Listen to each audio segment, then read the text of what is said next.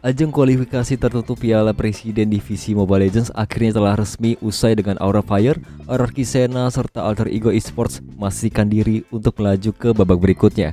Kejutan terjadi ketika EVOS Legends gagal melaju ke babak berikutnya usai mengalami kekalahan dari Aura Fire serta Alter Ego di perebutan tempat ketiga. Buat damage dari 5 member dan lihat, lihat ini, Alter masuk memenangkan bronze match kali ini GP. Wow, wow, wow, wow, Alter. Yeah, kali ini yang udah langsung diambil oleh Aura Fire. Kemenangan 3-0 mutlak tanpa balas.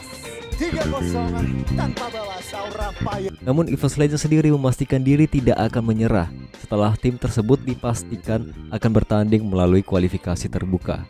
Usai dipastikan gagal melaju ke fase grup, manajer EVOS Legends Aji Sowa Wicaksono memastikan tim yang ia kelola akan kembali bertanding melalui kualifikasi terbuka Piala Presiden. Hal itu ia konfirmasi melalui unggahan instastorynya yang menyatakan bahwa EVOS Legends akan kembali memperjuangkan slotnya di ajang Piala Presiden. You open qualifier, thank you yang masih support, kata Soa melalui instastory miliknya.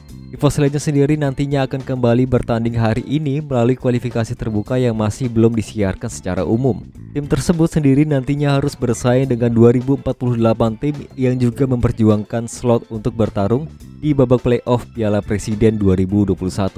Nantinya hanya akan ada satu tim yang dipastikan lolos dari kualifikasi terbuka tersebut dan akan bergabung dengan para pemenang yang telah lolos dari kualifikasi regional serta tertutup.